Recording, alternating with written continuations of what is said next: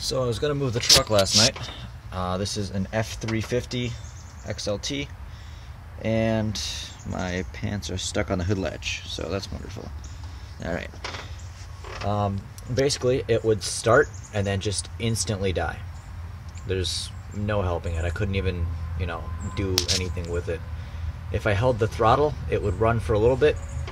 Um, but the way it was acting, it kind of made me think it was a vacuum leak, and at the same time, I just, you know, didn't know if it was getting the fuel it needed.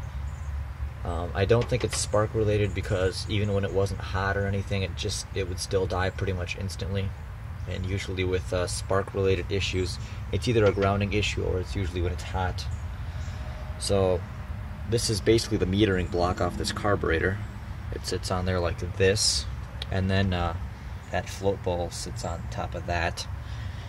So this thing was, uh, I mean, it wasn't bad. It was actually pretty clean. I just finished spraying it out anyway, just because I'm here. And uh, this float height was completely off.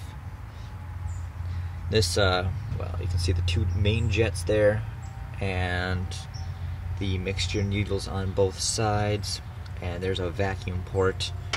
And this thing has two little alignment pins so it lines up just like that.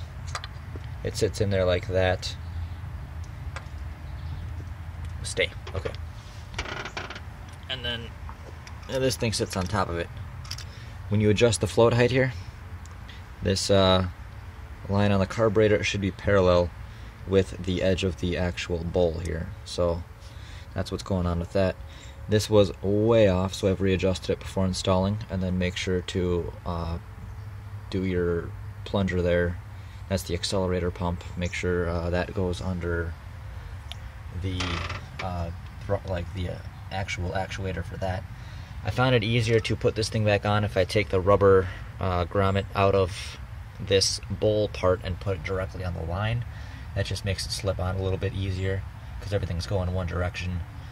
So there's that. I also found a broken vacuum line down here, so that's probably the source of the intake leak.